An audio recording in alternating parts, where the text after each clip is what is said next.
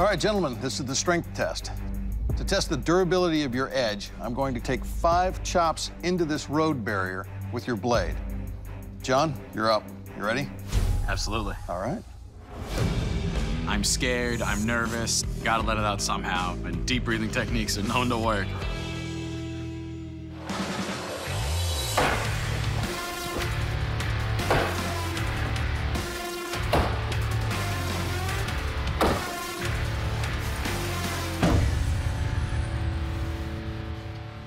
Well, your blade held up well.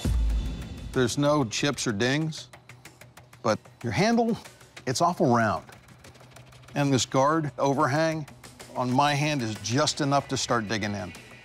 But good job. Thank you. Sam, you're up next. Are you ready?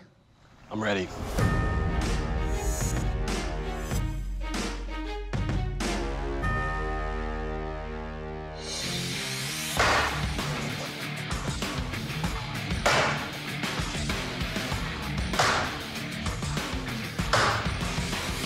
There we go, Dave.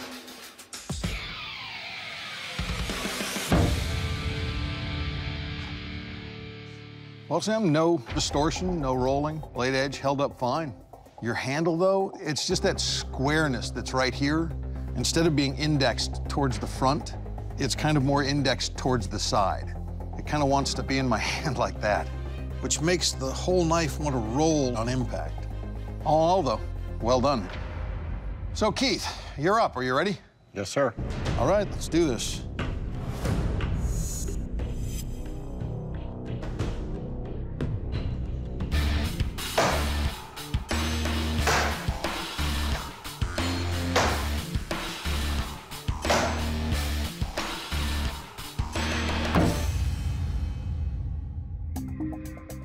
Okay, well, there's no distortions on your edge, no chipping, no bending.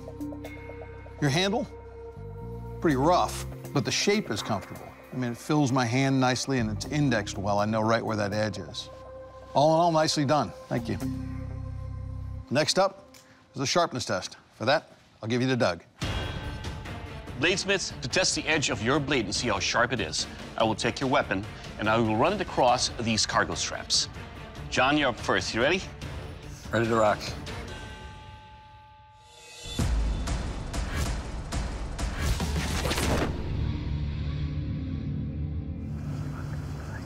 Okay, John, you definitely have a razor's edge on your blade right here. It cut cleanly through these cargo straps.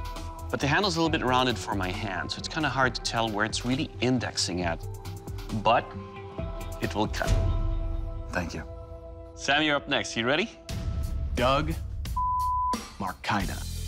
This man could take me apart, and he wouldn't have to use my knife to do it.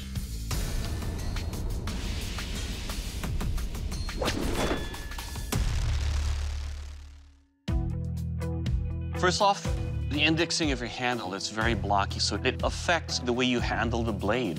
So as I dragged it and felt some resistance, the weight distribution and your handle design started to make the blade turn.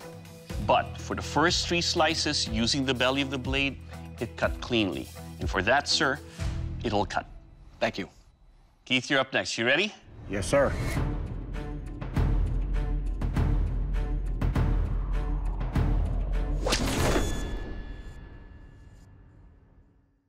Well, Keith, off the bat, it's comfortable in the hand. Your blade starts to get really thin, so it's razor sharp over here. So initially it cuts all the way through, but it gets thicker in the back. And it was sharp enough to cut through all three initially. It will cut. Thank you.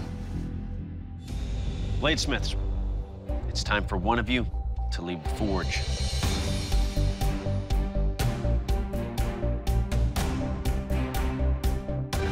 Sam, your weapon did not make the cut.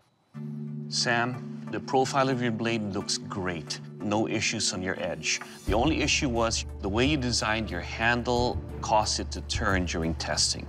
And that's the reason why we have to let you go. Sam, please surrender your weapon.